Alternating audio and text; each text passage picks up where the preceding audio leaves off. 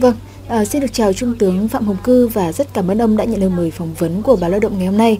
Thưa ông là ông có thể chia sẻ lại cái thời điểm khi mà Đại tướng Võ Nguyên Giáp à, giao nhiệm vụ cho ông và những người bạn viết nên cuốn sách về hồi ký với Đại tướng ạ?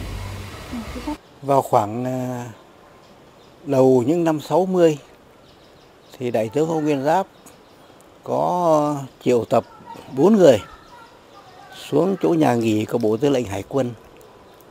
Thì cái cuộc họp ấy bây giờ tôi còn lưu lại được một bức ảnh lịch sử. Nó là vào dịp Tết. Cho nên đằng sau có cành đào đây này. Thì đây là đại tướng. Đây là tôi. Đây là nhà văn Hữu Mai. Và đây là cục phó cục tuyên huấn Phạm Chí Nhân và đằng sau là thư ký của đại tướng là anh Ờ, Bùi Đình Kế. Thì cuộc họp này, đại tướng có nêu cái yêu cầu là giúp đại tướng để viết hồi ký. Thì mỗi người nhận một phần.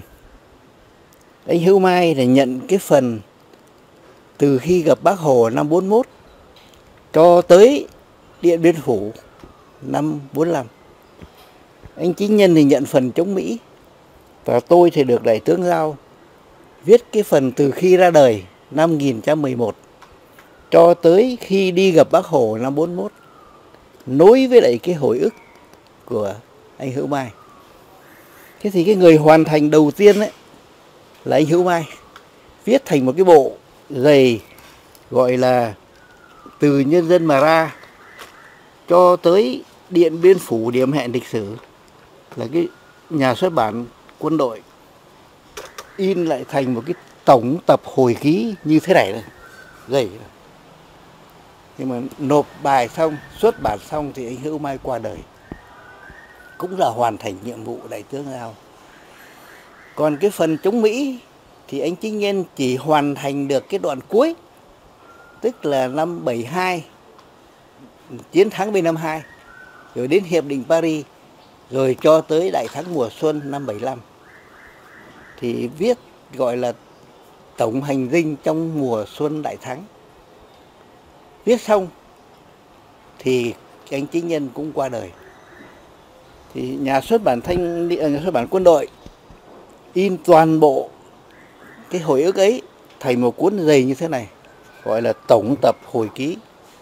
Và đại tướng khi xuất bản xong có gửi tặng cho tôi.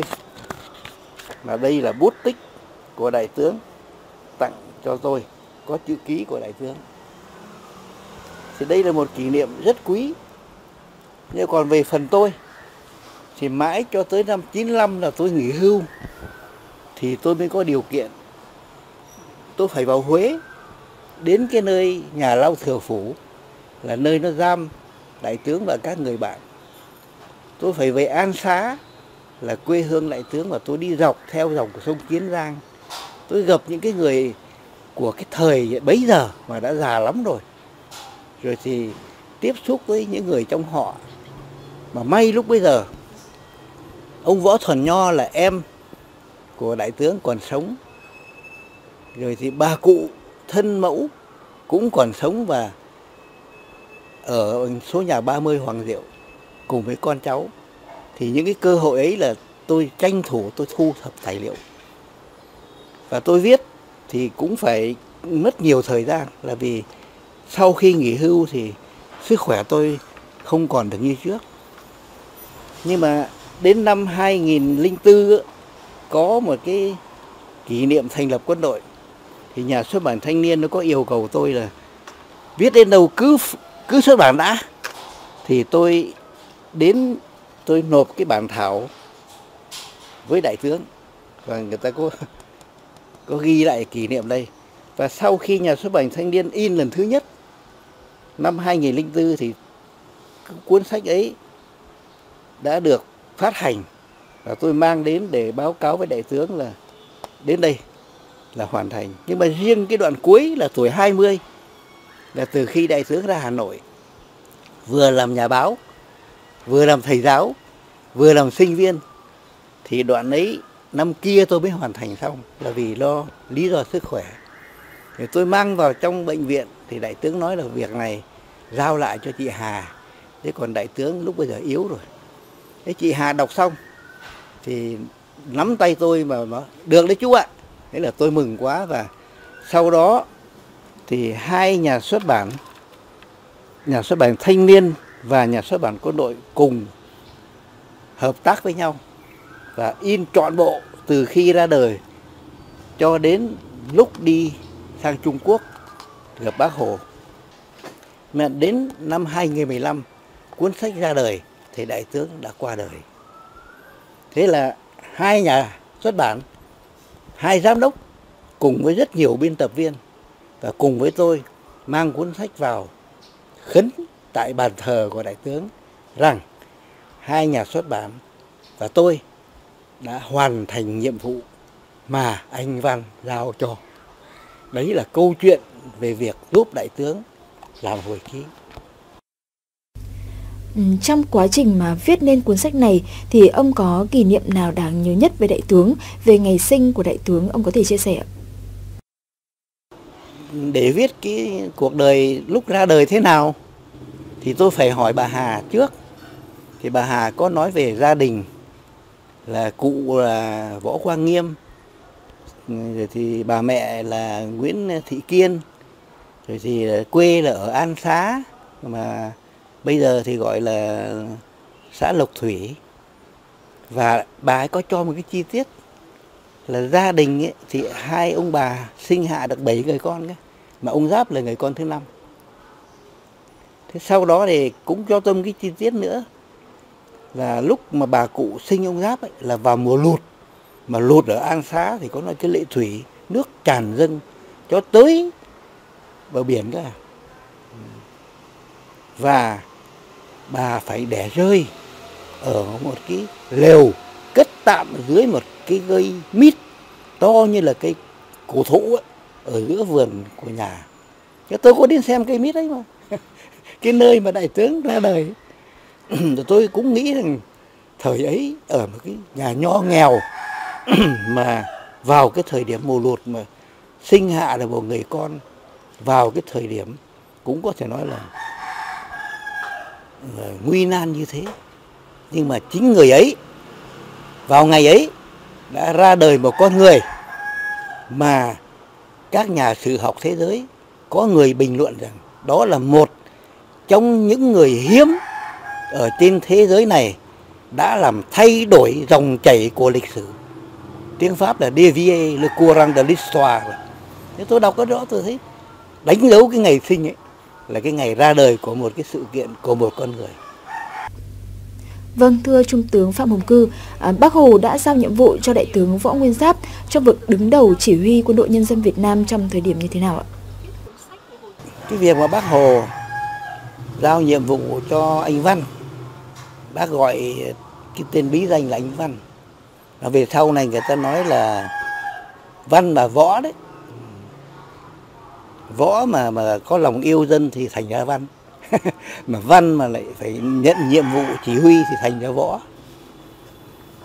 thế thì cái việc ấy nhiều nhà nghiên cứu tìm hiểu là vì sao mà cụ hồ lại giao cho một nhà giáo dạy sử một sinh viên luật. Một cử nhân luật. Mà chưa qua chưa từng trải qua một trường đào tạo quân sự nào như là các cái trường West Point hay là các cái trường về đào tạo sĩ quan của người Pháp. Thì tôi cho rằng đấy là cái, cái sự tinh tường của lãnh tụ. Nhìn thấy ở con người này có thể tin cậy được chứ tất nhiên về mặt năng lực thì còn phải tiếp tục đào tạo. Nhưng mà ít nhất là về mặt bản chất thì cụ hồ có dặn rằng làm cách mạng là phải dĩ công vi thượng. Cái câu này cụ hồ nói với đại tướng trong một cái đêm mùa đông nằm ở cái hang rất lạnh lẽo ở Bắc Bó. Mà anh Văn lúc bây giờ phải đốt một cái nhóm lửa nhưng không dám đốt to vì sợ ảnh hưởng lỗ bí mật. Nó mà lộ ánh sáng ra ngoài thì nó không tốt. Đủ để cho sưởi ấm cho bác. Thì bác có dặn chú Văn ạ à, làm cách mạng là phải dĩ công vi thượng. Thì nguyên điều ấy là cơ bản để có thể giao nhiệm vụ rồi. Còn về mặt năng lực thì phải tiếp tục học và tiếp tục tự đào tạo. Có thể nói đấy, bây giờ trong quân đội thì có một cái từ rất thân ái. Bác hồ là cha già của dân tộc. Nhưng mà đối với anh giáp thì gọi là anh cả của quân đội. Mà chính cái cái cái, cái danh hiệu này thì cũng do bác hồ viết bác hồ nói. Mà mọi người ghi nhận cái điều đó bằng trái tim của mình. Rất quý rất yêu mến. Và có thể là đối với lại cái sự chỉ huy dưới cái quyền của anh Giáp mà giành được hai cái thắng lợi lớn Điện Biên Phủ và thắng lợi chiến dịch Hồ Chí Minh thì đối với thế hệ tôi đó có thể nói là những cái ký ức không thể nào quên. Sau khi cuốn hồi ký ra đời thì nó đã mang lại những tác động như thế nào đến người đọc? Trung tướng Phạm Hồng Cư có thể chia sẻ Thì cũng có những điều tôi không ngờ tới. Thí dụ như sau khi công bố cuốn sách. Thì ở bên Pháp họ dịch cho một đoạn. Cái đoạn bãi khóa đấy, La Grève Scolaire de 1927 thì trong đó tôi có sưu tầm được những người cùng tham gia bãi khóa ở Huế, kể cả trường Đồng Khánh là nữ, trường nữ, kể cả trường Quốc học, rồi kể cả trường Pellerin thì tên những cái người bạn ấy thì tôi vào Huế tôi tìm tòi tư liệu và tôi sưu tầm được gần hết. Và khi mà công bố cái phần này thì ở bên Pháp họ dịch ra.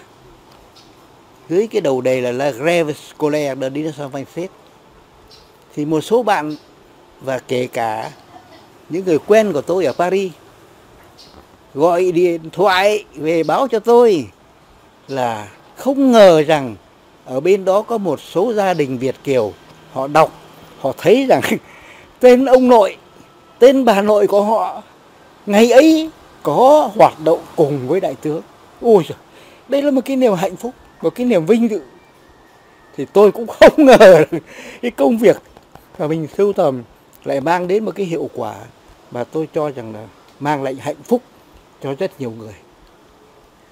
Vâng, à, rất được cảm ơn những chia sẻ vừa rồi của Trung tướng Phạm Hồng Cự.